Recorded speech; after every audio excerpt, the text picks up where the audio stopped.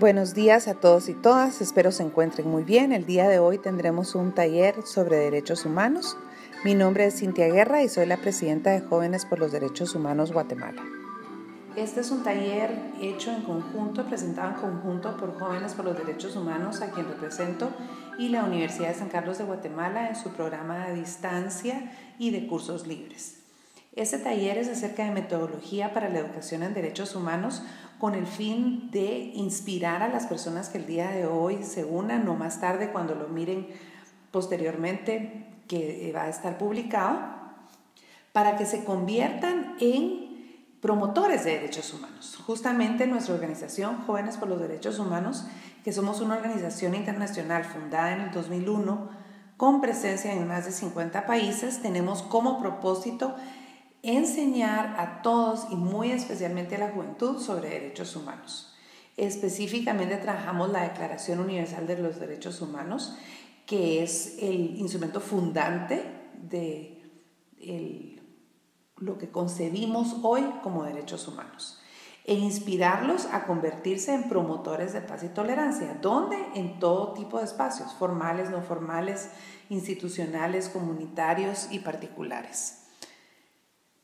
¿Cuáles son los objetivos de este taller entonces? Reflexionar sobre los derechos humanos. ¿Por qué queremos reflexionar sobre los derechos humanos? Es decir, no solo es trasladar la metodología, sino en el proceso, porque la eh, metodología para la educación de los derechos humanos es reflectiva, totalmente. Entonces, eh, en la medida que profundizamos, pues sentimos ese, ese deseo de poderlo compartir. Entonces, eh, ¿qué nos hace eh, también querer llevar este, este mensaje, esta formación a otros lugares? Pues hay dos conceptos que están muy arraigados. Uno de ellos es que los derechos humanos solo defienden delincuentes. El otro es, por ejemplo, desde que inventaron los derechos humanos ya no puedo yo educar a mis hijos, por ejemplo. Entonces, ¿Qué miramos ahí? Uno lo vamos a resolver un poco también trabajando el tema de la historia de los derechos humanos que vamos a trabajar el día de hoy, para que veamos que no son un invento de la modernidad los derechos humanos, sino son una aspiración más bien de la humanidad, que ha venido en una trayectoria prácticamente igual de, remota que los inicios de la historia de la humanidad. Em, viendo esta, eh, esta evolución, también vamos a irnos dando cuenta que los derechos humanos pues no son las instituciones de los derechos humanos, sino los derechos humanos son las garantías que nosotros y nosotras tenemos. De tal forma que si hay instituciones que en efecto sí deben de velar por diferentes grupos que están en una condición de vulnerabilidad, como son, por ejemplo, los privados de libertad, no vamos a confundir las instituciones con los derechos y garantías que tengo yo y que tiene cada una de las personas a mi alrededor. Y definitivamente otro objetivo, como ya se los he venido diciendo, es compartir recursos y metodología para la enseñanza de los derechos humanos. Entonces la invitación es que todo lo que hoy estamos viendo se haga propio para ustedes. Vamos a dejarles los enlaces, y donde pueden descargar todo el material que vamos a ver hoy, que es de propiedad intelectual de jóvenes por los derechos humanos, pero con una licencia libre para ser utilizado en todos los espacios necesarios para poder llevar, pues, nuevamente educación en derechos humanos. Muy bien, empecemos.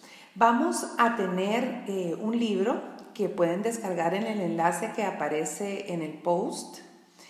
Y mm, les voy a pedir entonces que eh, si no lo han bajado, detengan el video y eh, bajen ahora este, este libro y vamos a, vamos a explorarlo un poquito. Muy bien, este es nuestro libro, me imagino que ya lo bajaron. Entonces, miremos qué tiene podemos ver, bueno, pues evidentemente tiene una introducción donde nos presenta qué es lo que, que contiene y habla pues de la Declaración Universal de Derechos Humanos. Aquí podemos ver en cada una de las hojas de una forma muy atractiva para presentarlo, está cada uno de los derechos humanos que poseemos. ¿Y cuántos son? Son 30, que equivale a esos 30 artículos que contiene la Declaración Universal de Derechos Humanos. Entonces, en esta primera parte miramos que están todos los artículos, uno en cada hoja, de una manera mediada, y luego ya en la última parte del libro, pues está la Declaración Universal de Derechos Humanos en su texto original, tal como se escribió en 1948. Entonces ahora el siguiente ejercicio que les pido es que vayamos a esa página 35 y que leamos el preámbulo de la Declaración Universal de Derechos Humanos. Mientras leemos este preámbulo, lo que quiero pedirles es que subrayen algunas palabras fundamentales, conceptos claves que encuentren en ese preámbulo que está en la página 35 del folleto que ya descargaron.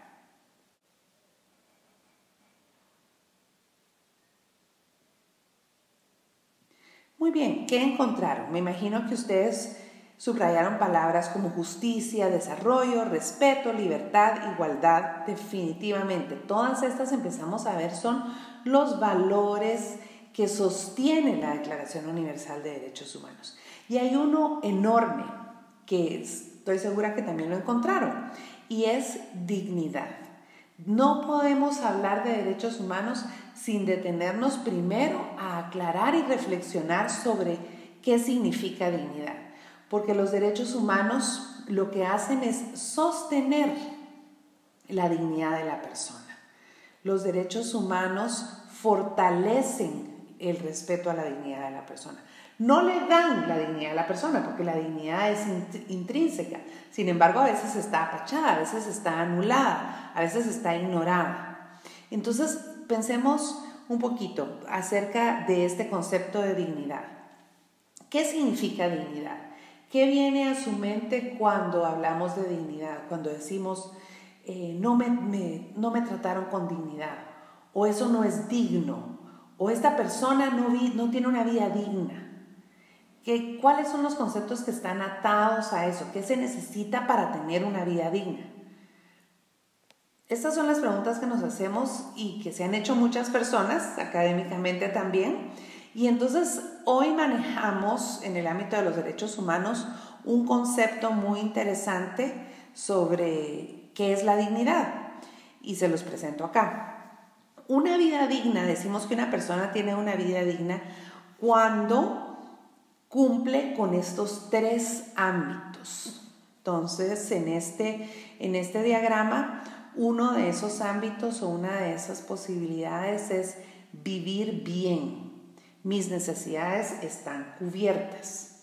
Es decir, todo esto relacionado a, lo material que yo necesito, por ejemplo, eh, una vivienda, vestuario, alimentación, mis necesidades eh, que como persona necesito para vivir. Esas son eh, las que podríamos enmarcar aquí en este vivir bien.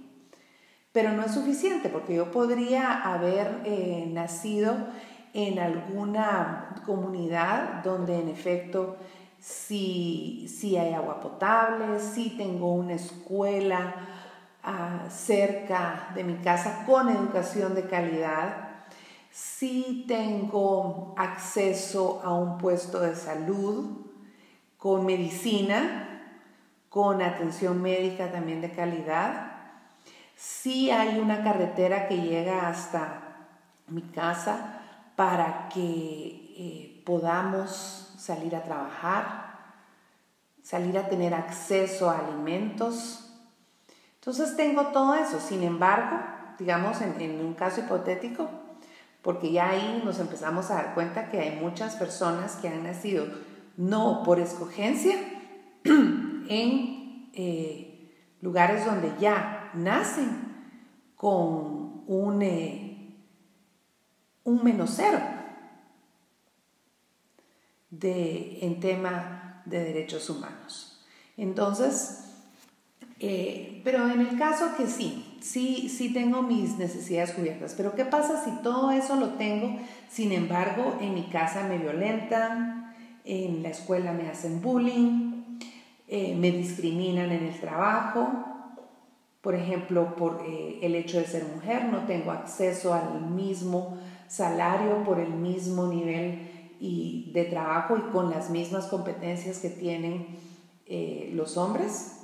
Entonces, eso significa que ahora caemos en este círculo celeste, vivir libre de humillaciones. La dignidad también pasa por la posibilidad de vivir sin humillaciones. Entonces, vamos viendo que la, dignidad es vivir bien, mis necesidades, vivir libre de humillaciones, pero también qué pasa, qué pasa si tengo todo esto, si estoy bien en mi casa, pero cuando estoy, por ejemplo, en edad de casarme, quiero casarme con alguien y me dicen, no, ya no, no te puedes casar con esa persona porque ya te ofrecimos a esta otra persona. ¿Qué pasa eh, si hay un eh, producto de una violación, hay un embarazo en una niña o adolescente? ¿Qué pasa si eh, deseo profesar cierta religión y por eso, por ejemplo, me despiden del trabajo? Entonces, entramos en este otro ámbito importante que conforma la posibilidad de vivir una vida digna y es vivir de acuerdo a mi plan de vida, tomar mis propias decisiones, mi autonomía, digamos, vivir como, como, quiero, no en el sentido de hacer lo que me da la gana sin eh, ningún tipo de responsabilidad, sino en el sentido de poder decidir sobre mis acciones, mis pensamientos, mi posibilidad de moverme de un lugar a otro. Muy bien, entonces eh, vemos que hay tres ámbitos de la dignidad. ¿Y los derechos humanos qué es lo que hacen? Darnos esa protección para lograr que cumplamos con la posibilidad de tener una vida digna, es decir, que vivamos bien, sin humillaciones y de acuerdo a nuestro plan de vida. Miremoslo, digamos, de una manera más gráfica. Aquí precisamente también, si ustedes ven, está la definición justamente como la Constitución de Constitucionalidad de Colombia, en la que nos dice dignidad humana se identifica en tres lineamientos claros y diferenciables la dignidad humana entendida como autonomía o posibilidad de diseñar un plan vital y de determinarse según sus características, es decir, vivir como quiero. La dignidad humana entendida como ciertas condiciones materiales concretas de existencia, es decir, el vivir bien. Y la dignidad humana entendida como intangibilidad de los bienes no patrimoniales, integridad física e integridad moral, es decir, vivir sin humillaciones. Entonces vamos a hacer un ejercicio. Aquí tenemos los mismos tres círculos, vivir bien, lo material, vivir como quiero, de acuerdo a mi plan de vida, y vivir sin humillaciones, es decir, la integridad y respeto. Entonces, y acá a la par tenemos la lista de los diferentes derechos que ya vimos que equivalen a los 30 artículos de la Declaración Universal de Derechos Humanos y vamos a hacer el ejercicio de colocar cada uno de ellos en alguno de estos círculos.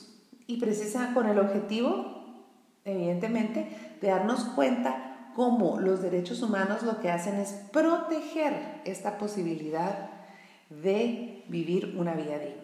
Entonces voy a ahorita a colocar un video. Ustedes van a ver este video y al terminar de verlo me van a decir en qué eh, círculo pondría ese derecho. Creo en la naturaleza. Yo creo en el espíritu. Creo en la confianza. La belleza.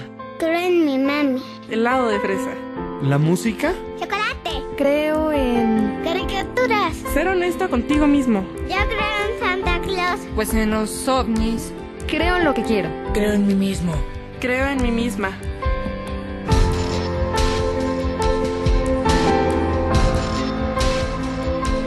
Creo en la paz.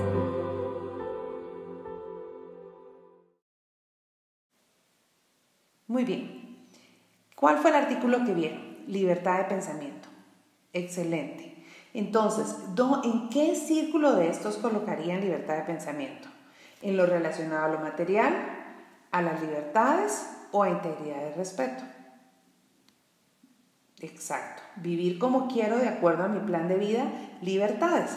Entonces yo voy a colocar aquí el número 18, que es el número del artículo en el que en la Declaración Universal se habla sobre la libertad de pensamiento. Muy bien, ahora voy a colocar otro video y me van a decir ustedes igualmente en qué círculo lo pondría.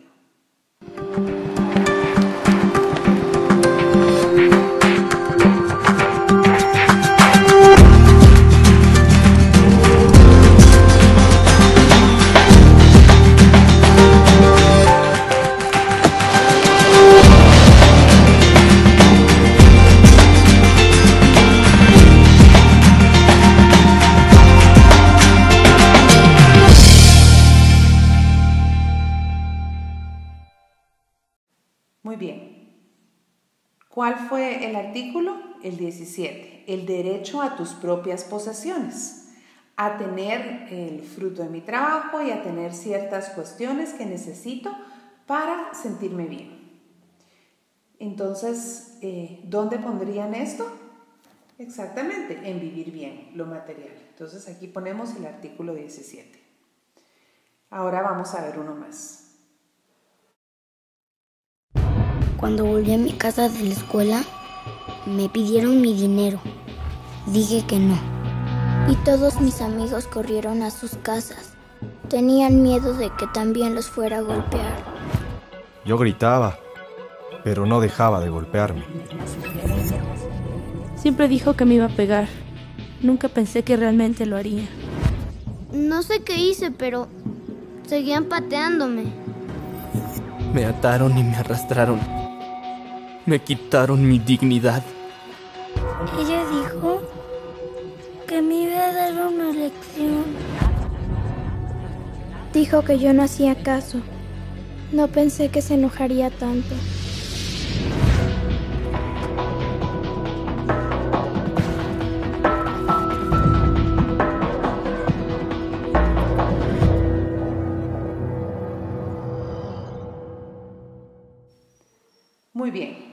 Pues es bastante evidente, es el número 5, ninguna tortura, un video fuertísimo eh, que podríamos también reflexionar mucho sobre este tema, sobre cómo tenemos que trabajar mucho la no violencia, ¿verdad? Entonces, ¿dónde ponemos este? Sí, claro, en vivir libre de humillaciones, integridad y respeto. Aquí ponemos el número 5. Muy bien, entonces yo los invito a que en este momento pues se tomen un tiempo, vayan viendo los diferentes artículos y los vayan colocando en los círculos. Algunos de ustedes incluso podrían decir, lo pongo en medio, por ejemplo, ustedes dicen, ay, bueno, el derecho a la vida, por ejemplo. Bueno, eso es esencial, parece como que abarcaría todo de alguna u otra forma. Bueno, si eso eh, lo definen así, ustedes lo podrían poner, por ejemplo, aquí en el 3.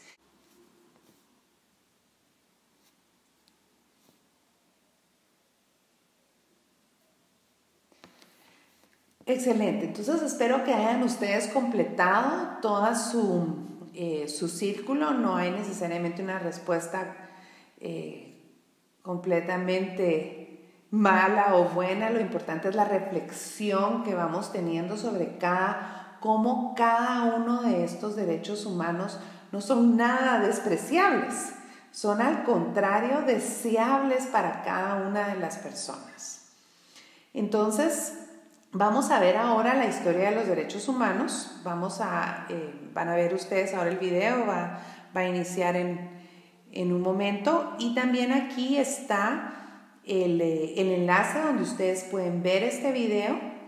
Do, eh, también pueden buscarlo en nuestro canal de YouTube y bajarlo. Este es un video que ustedes lo pueden usar sin ninguna restricción para llevar este mensaje a otras personas. Entonces, antes de poner el video, les voy a eh, dar este, digamos, como cuestionario, que más que un cuestionario, porque evidentemente no se trata de memorizar nada de los derechos humanos, sino se trata de vivirlos. Eh, pero es una guía para que nosotros vayamos viendo a qué le podemos ir poniendo atención en lo que pasa el video. Entonces, por ejemplo, quiero que encuentren una definición muy cortita que nos dan ahí de qué son los derechos humanos. Luego también que analicemos, veamos, ahí pongamos mucha atención y me digan luego cuándo fue la primera vez que se escribe un documento relacionado a los derechos humanos. Luego, número tres, vamos a ver la, el concepto de ley natural y entonces luego ya vamos a completar esto. Lo vamos a hacer en conjunto también después del video, pero ustedes vayan escuchando y analizando, ah, sí, aquí dijeron ley natural, ¿qué significa esto? Y de ahí vamos a, como hay un recorrido histórico, por supuesto, entonces em, algunos, algunos momentos claves. La Carta Magna, la independencia de Estados Unidos, que fue la primera en América, la Revolución Francesa cuando finaliza. El número 5, ¿cuántas personas murieron en la Segunda Guerra Mundial? El número 6, ¿qué organización se formó al terminar la Segunda Guerra Mundial y con qué fin? El número 7, ¿qué documento se formuló en 1948 al respecto de los derechos humanos? Luego puede nombrar algunas personas que han sido muy destacadas en la defensa de los derechos humanos. Van a ver varias ahí en el video, pero claro, ustedes también pueden ir sumando otras personas de las cuales leemos eh, en la historia y, actualmente, ¿verdad? En, en los medios. ¿Y quiénes son hoy los defensores de derechos humanos? Espero que disfruten este video.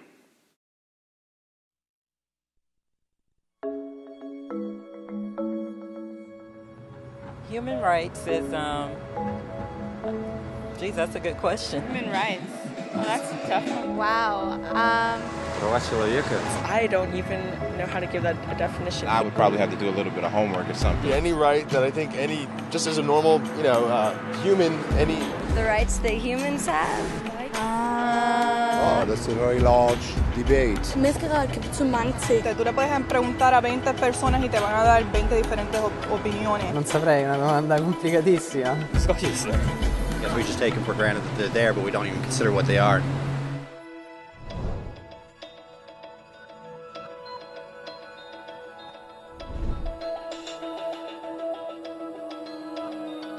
Los derechos humanos son los derechos que simplemente tienes por el hecho de ser humano.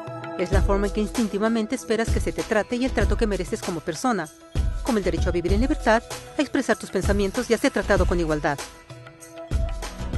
Hay muchos tipos de derechos. La mayoría es aplicable a ciertos grupos. Pero los derechos humanos son los únicos que corresponden absolutamente a todos, en todas partes.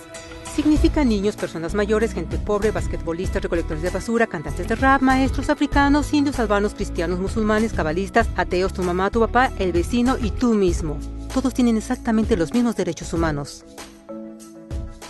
En otras palabras, son universales. Pero la pregunta sigue en pie. ¿Qué son? Name the human rights? What the human rights are? Um, the right to live, um, equality between all peoples. Right to religion, the right to. Is there supposed to be a list somewhere I should be aware of? De acuerdo con las Naciones Unidas hay un total de 30 derechos humanos que generalmente se agrupan y sencillamente se llaman derechos humanos.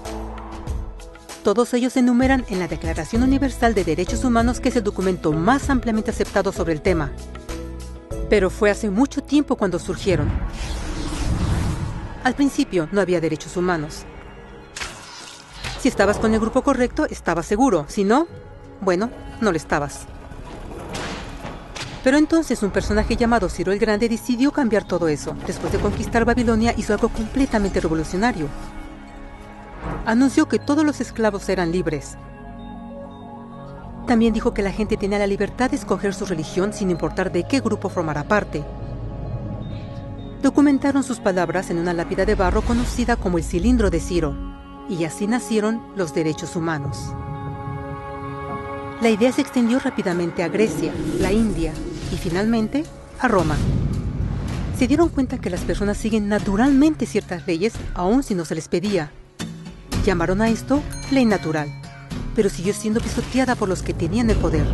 No fue sino hasta mil años después, en Inglaterra, donde finalmente lograron que el rey aceptara que nadie podía invalidar los derechos de las personas, ni siquiera el rey. Los derechos de las personas fueron finalmente reconocidos y ahora estaban protegidos de quienes estaban en el poder, hasta cierto punto. Aún se necesitó que un grupo de rebeldes británicos declararan su independencia antes de que el rey aceptara que todos los hombres fueron creados iguales. No es que le gustara la idea, pero no los pudo detener. Y así nacieron los Estados Unidos. Los franceses siguieron inmediatamente con su propia revolución por sus propios derechos. Su lista era más larga e insistieron en que esos derechos no solo se habían ideado, sino que eran naturales. El concepto romano de ley natural se había convertido en derechos naturales. Desafortunadamente, no todos estaban entusiasmados. En Francia, un general llamado Napoleón decidió derrocar la nueva democracia francesa y se declaró emperador del mundo. Por poco y lo logra. Pero los países de Europa unieron sus fuerzas y lo vencieron, y los derechos humanos estuvieron otra vez en boga. Se redactaron acuerdos internacionales garantizando ampliamente muchos derechos en toda Europa. Pero solo en Europa. De alguna forma, el resto del mundo todavía no tenía esos derechos.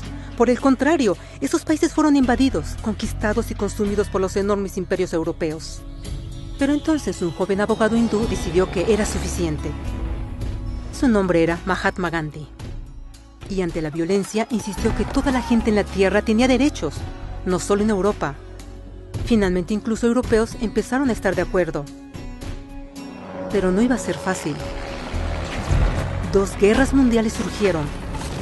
Hitler exterminó la mitad de la población judía de la Tierra en horribles campos de concentración nazis. En resumen, 90 millones de personas murieron. Los derechos humanos nunca habían estado tan terriblemente cerca de la extinción. Y el mundo nunca había estado tan desesperado por un cambio. Así los países se unieron y formaron las Naciones Unidas.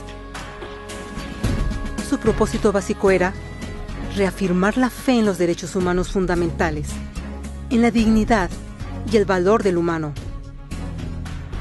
Pero, ¿qué son los derechos humanos?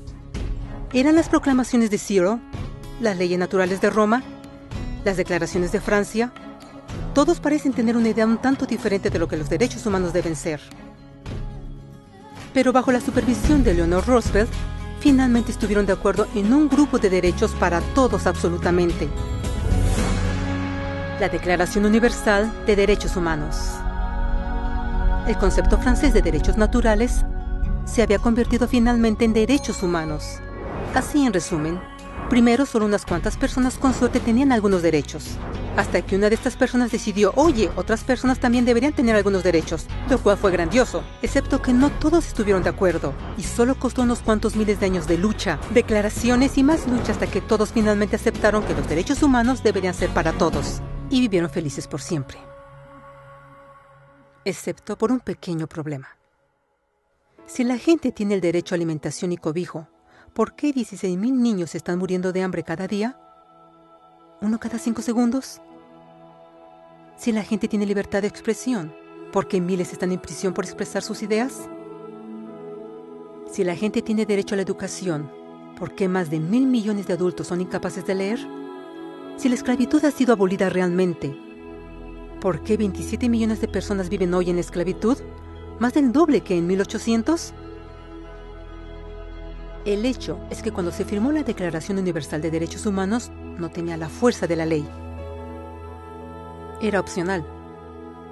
Y a pesar de muchísimos documentos, convenciones, tratados y leyes, no eran más que palabras en papel. Así que la cuestión es, ¿quién hará que esas palabras sean una realidad?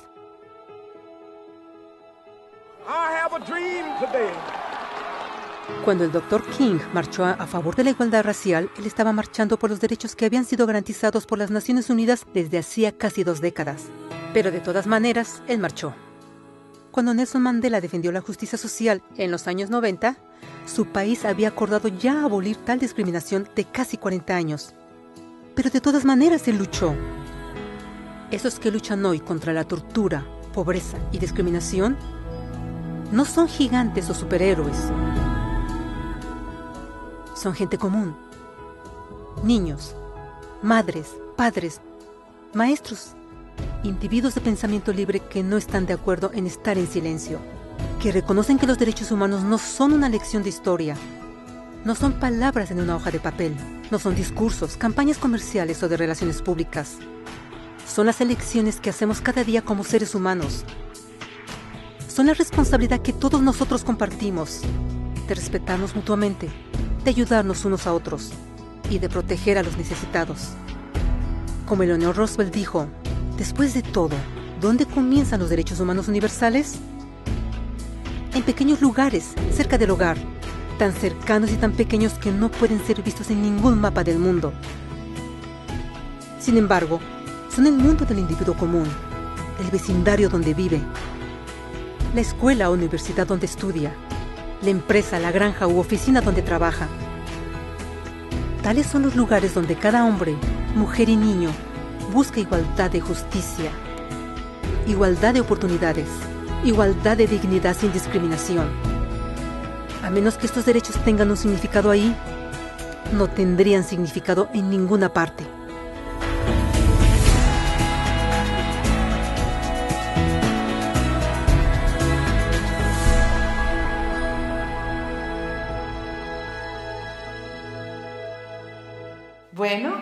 Bienvenidos de vuelta.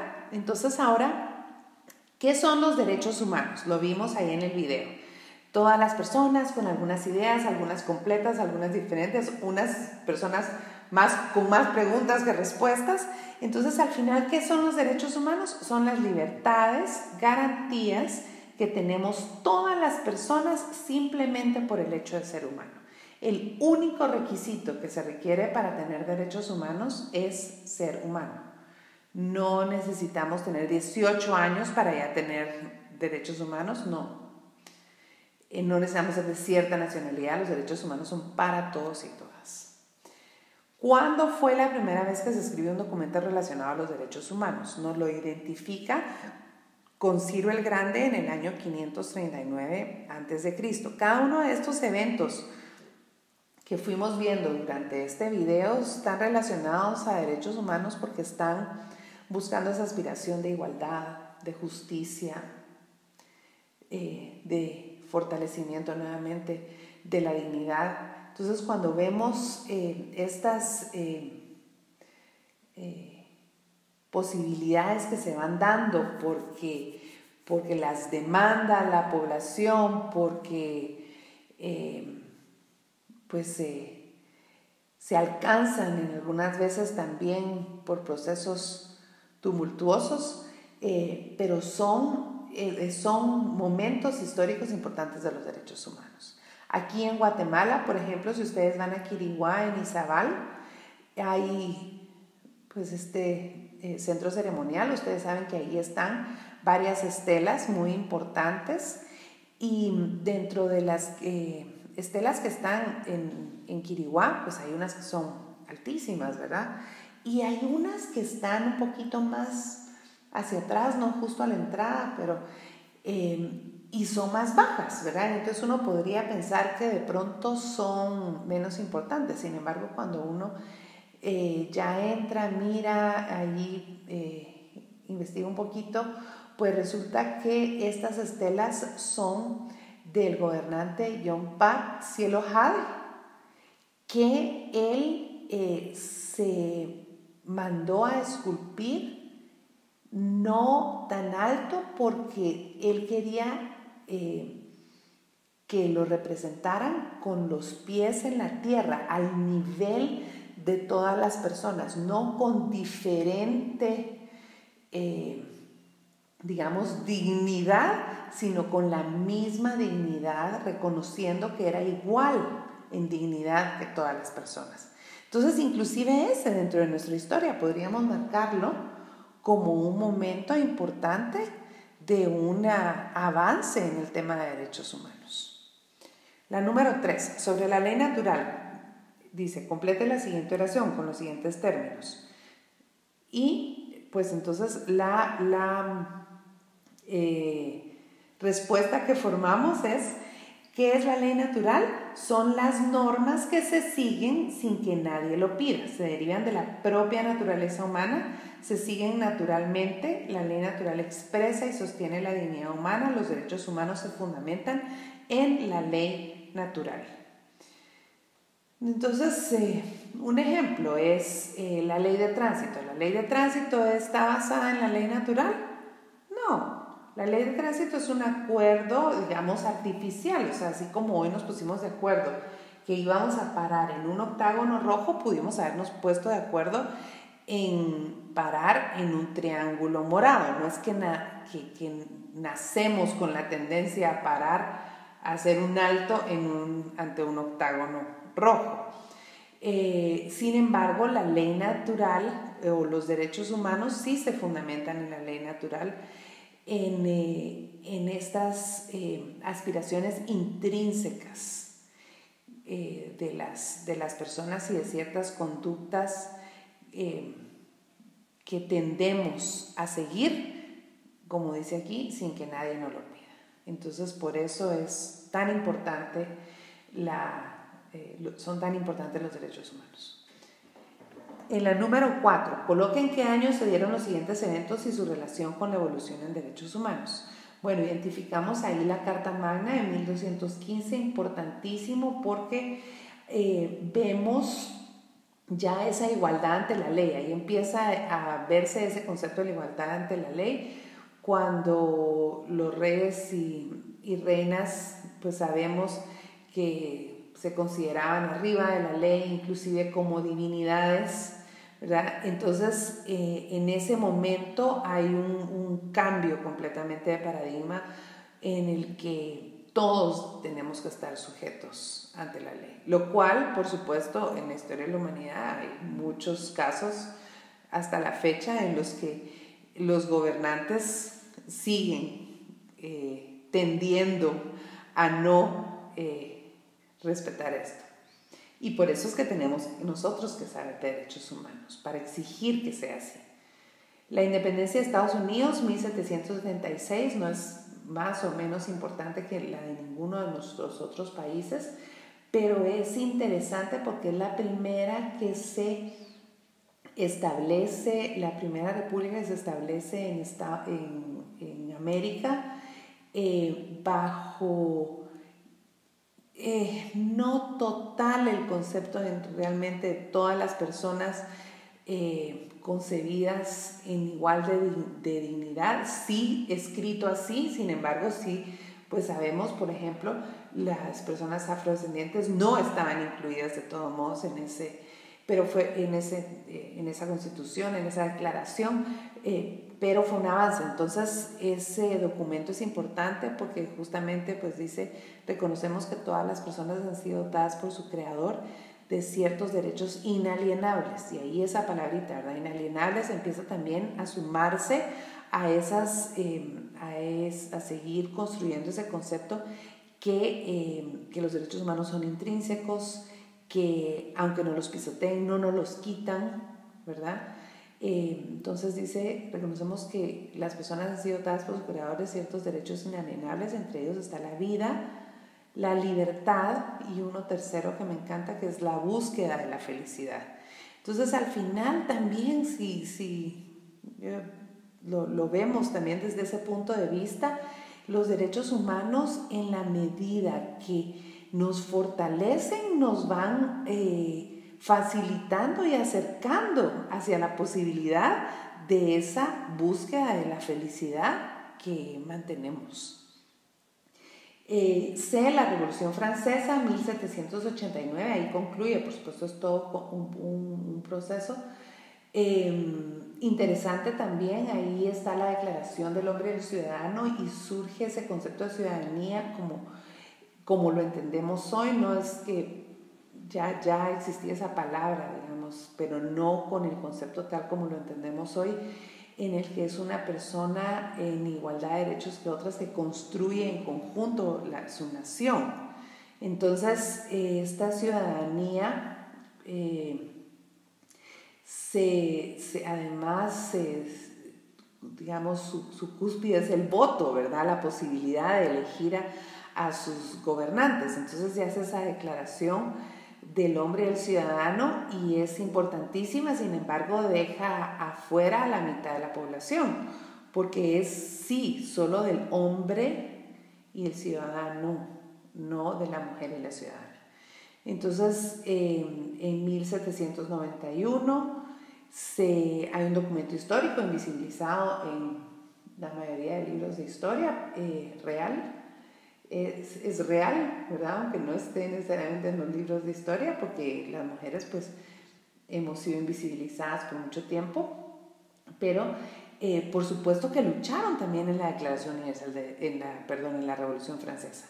Y cuando eh, se logró ese triunfo, pues las dejan a un lado. Entonces, eh, Olimpia de Gauch eh, reúne a varias otras mujeres, hacen la Declaración de la Mujer y la Ciudadana en 1791. Pero ¿qué le sucede? En 1792 la decapitan y allí eh, termina por muchos años eh, la posibilidad del voto de las mujeres. En, Guatemala es hasta 1945 cuando se abre, se empieza a abrir la posibilidad del voto para las mujeres. Entonces, recalco ese concepto de la evolución de los derechos humanos, que no es algo que se inventó y que se definió de un día para otro, sino es todo un proceso de luchas de alcanzar eh, esas posibilidades que, que se buscan con tanto ahínco por esa justamente esa condición de ser intrínsecas. ¿Cuántas personas murieron en la Segunda Guerra Mundial? Porque es importante esto, Son, fueron 90 millones. Es importante porque este es un evento que luego pues trasciende a otros estados de mayor bienestar, esperamos, eh, en el sentido que, que después de eso es que ya vemos el tema de derechos humanos como lo concebimos ahora. 90 millones de personas murieron. Entonces, era, fue una época en la humanidad en la que al final parecía como que la vida no, no valía nada, ¿verdad? La muerte era, era ya una cuestión que no se pensaba, era, había muerte por fuego enemigo, por fuego amigo, como se decía, porque por bombas que caían equivocadas en un lugar donde no era, eh, porque por matar a otros, bueno, se corría con el matar a, a los que sí eran, digamos, de su bando. Bueno, en fin, una cosa espantosa. Entonces, eh, inclusive, digamos, hagamos este ejercicio para dimensionar cuántos son 90 millones, porque a veces nos cuesta también como dimensionarlo. ¿Qué pasa si decidiéramos nosotros hacer un minuto de silencio por cada una de las víctimas de la Segunda Guerra Mundial? Es decir, eh, tendríamos que hacer 90 millones de minutos de silencio. ¿Cuánto tiempo necesitamos para hacer 90 millones de minutos de silencio? Entonces, si nosotros hacemos esa conversión, eh, los 90 millones lo convertimos a, eh, a horas, a días, a años, entonces nos damos cuenta que necesitamos 177 años, prácticamente dos vidas, para poder hacer 90 millones de minutos de silencio. Esa sí fue la cantidad de personas que murieron.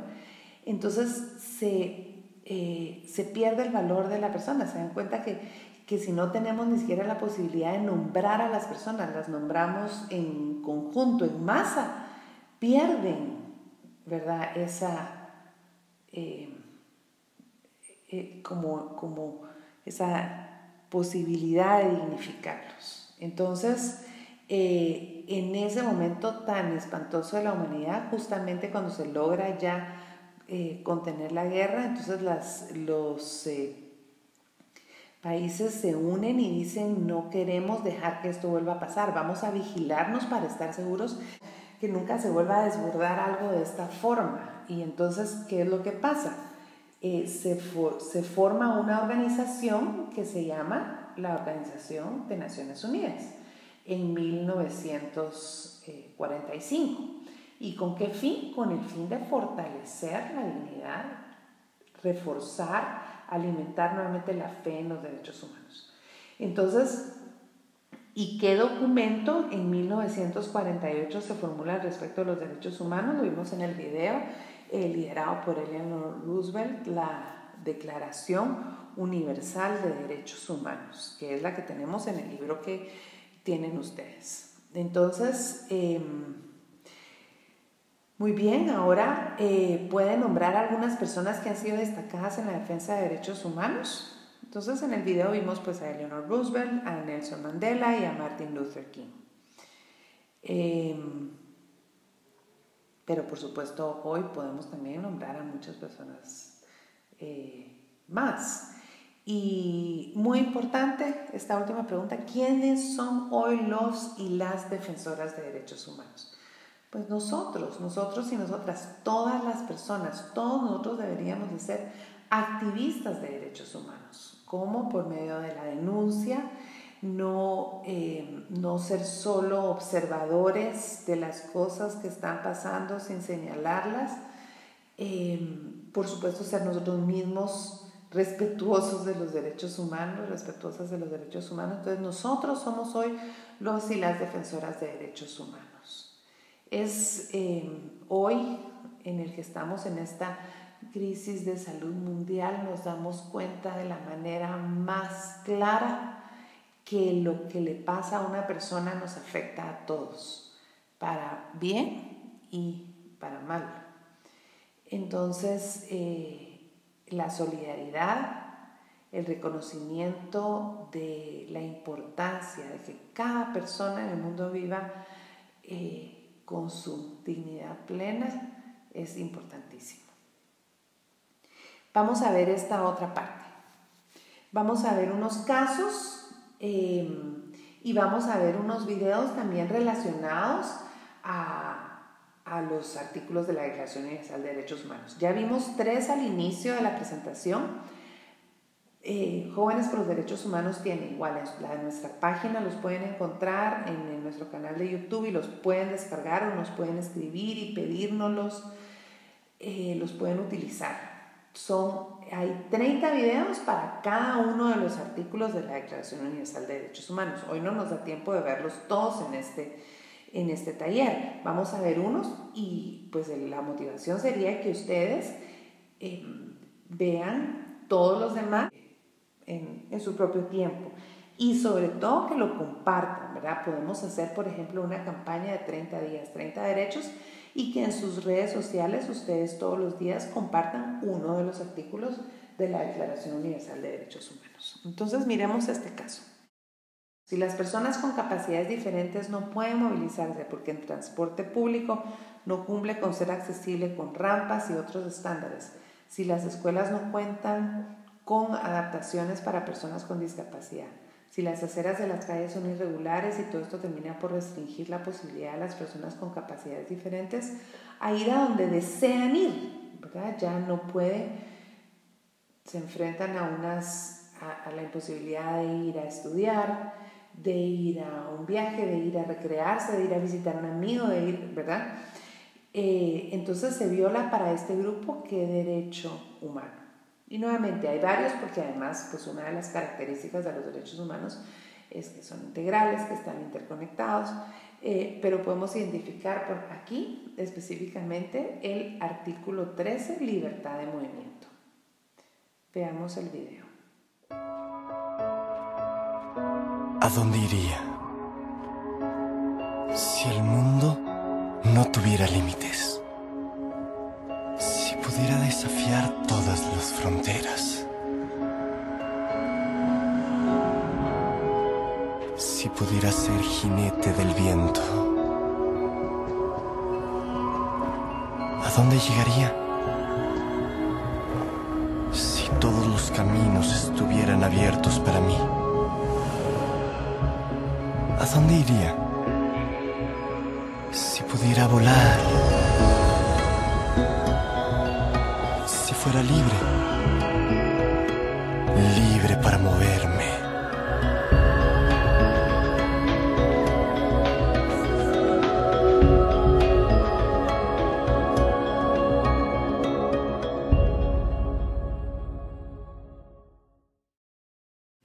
En el caso del hogar seguro, en el que 41 niñas bajo la tutela y cuidado del Estado murieron, el Estado por medio de los funcionarios responsables violaron el derecho número. Evidentemente hay muchos derechos que se violaron, más que uno, pero específicamente en este caso el derecho a la vida.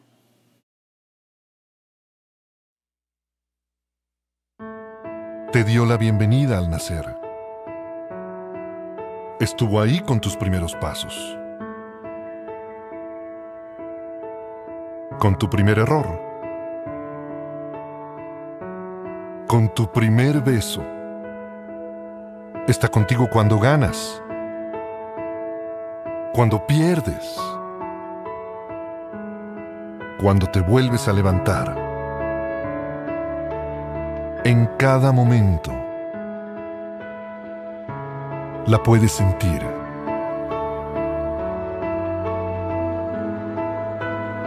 La vida. Derecho humano número 3. El derecho a la vida. ¿Qué son los derechos humanos? Infórmate en jóvenesporlosderechoshumanos.org.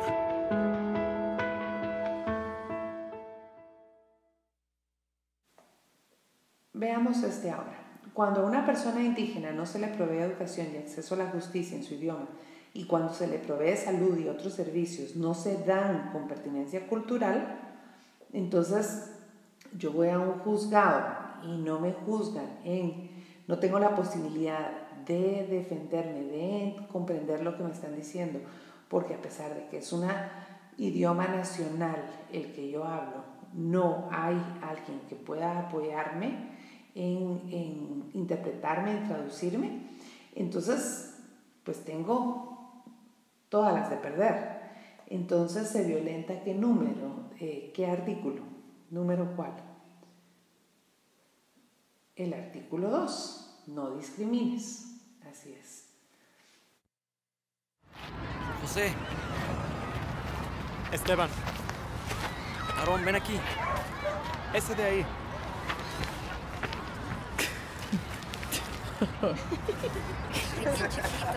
Tú, ven acá.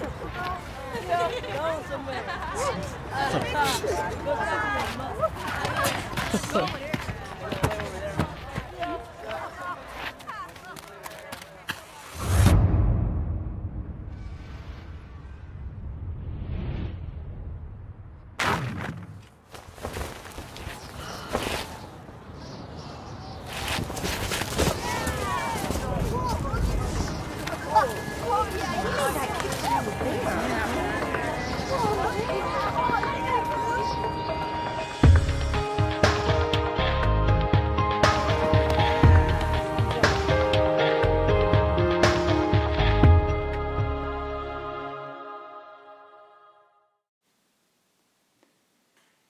maestros y maestras, como servidores públicos, no contemplan el número de días de clase efectivos requeridos por la ley, atentan contra el derecho humano número, pues eso es muy fácil, el derecho a la educación, muy evidente. Por favor, acompaña a Leticia todo el tiempo. Ella es nueva y este es su primer día. Mami, no la puedes mami. descuidar. Mami, es todo otra estará cosa, bien, de otra veras. cultura.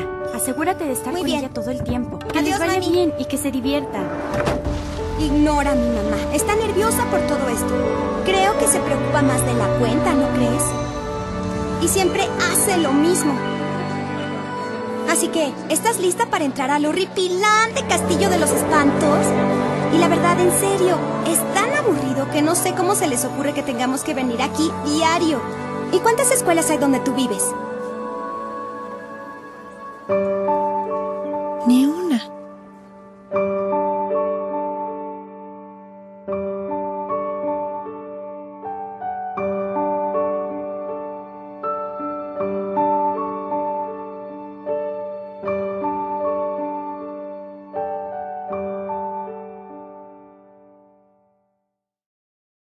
Cuando los espacios públicos para el esparcimiento, deporte, recreación no son lugares seguros, y entonces yo ya no salgo, ya no me recreo, eh, se atenta contra qué derecho humano.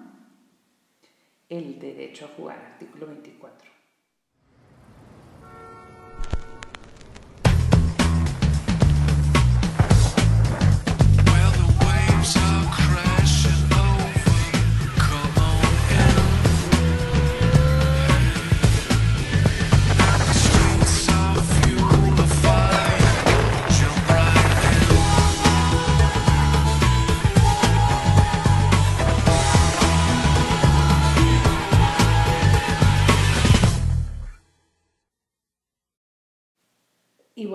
Cuando cada quien cumple a cabalidad nuestras funciones y obligaciones, cuando promovemos el respeto a los derechos humanos, protegiendo las libertades y derechos de, eh, en nuestros espacios de acción, cuando denunciamos violaciones a los derechos humanos, entonces, ¿qué derecho estamos ejerciendo?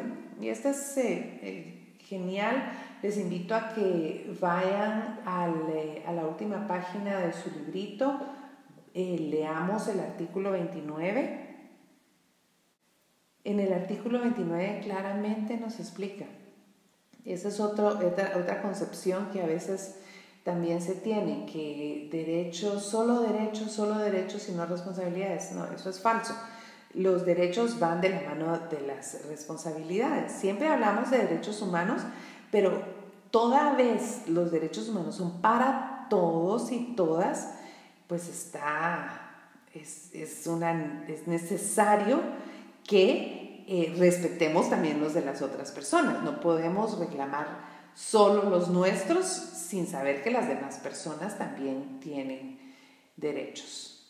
Entonces, eh, es, eh, son dos caras de la, misma, de la misma moneda, los derechos y las responsabilidades. Para cada uno de eh, los derechos yo tengo la responsabilidad de hacerlos valer y de respetarlos a las otras personas, de respetarlos primero y luego inclusive el otro paso es, bueno, si no está pasando nada, yo también trabajo para que sí se den. Entonces, eh, veamos este, este video, es muy, muy poderoso y los... Y, las y los invito a que tomemos justamente esta acción, que vayamos ese paso, ese paso más allá en la construcción de esa Guatemala que soñamos, que la diseñamos en los acuerdos de paz, un mundo justo y libre, como lo dice el artículo 28. Eh, y por medio de esto, de la responsabilidad y de trabajar en el tema específicamente nosotros, en la educación en derechos humanos, contribuimos a esto. El mundo que veo es justo y libre donde la gente puede viajar a donde sea y como quiera. Y los niños pueden comer y usar zapatos sin tener miedo cuando van por la calle. No es que quiera que haya arcoíris y conejitos, ni calles llenas de gente bailando como títeres, sino que haya libertad para vivir, aprender y jugar. Solo ser tú mismo y pensar a tu manera. El mundo que veo quizá te parezca una locura, pero ojalá algún día tú también lo puedas ver.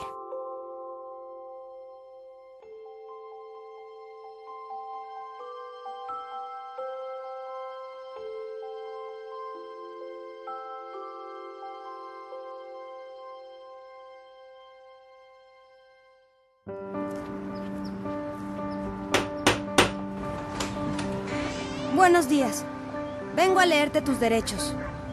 ¿Mis qué? Todos hemos nacido libres e iguales. No discrimines. Tienes el derecho a la vida. Tienes el derecho a la vida y a vivir en libertad y a salvo. Tienes el derecho a la educación. Tienes el derecho a tus propias posesiones. Tienes el derecho a la seguridad social. Tienes el derecho a jugar. Tienes derecho a la democracia. Tienes derecho al asilo. Tienes el derecho de tomar responsabilidad. Y nadie, y nadie puede quitarte estos derechos y libertades. ¿Por qué haces esto? Tienes derecho a saber.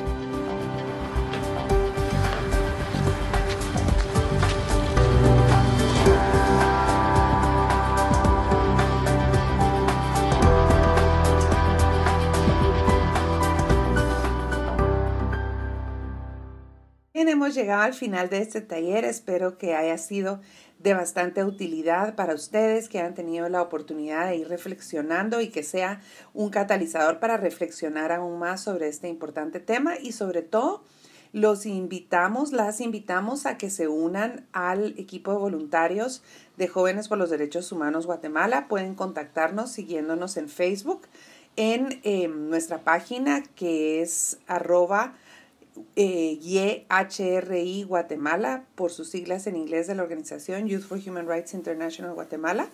También nos pueden seguir en nuestra página, en nuestra cuenta de Instagram. Y también eh, les dejo aquí mi nombre y mi correo electrónico para que ustedes puedan contactarse. Podemos apoyarles en eh, darles materiales para las capacitaciones que ustedes tengan en sus diferentes espacios.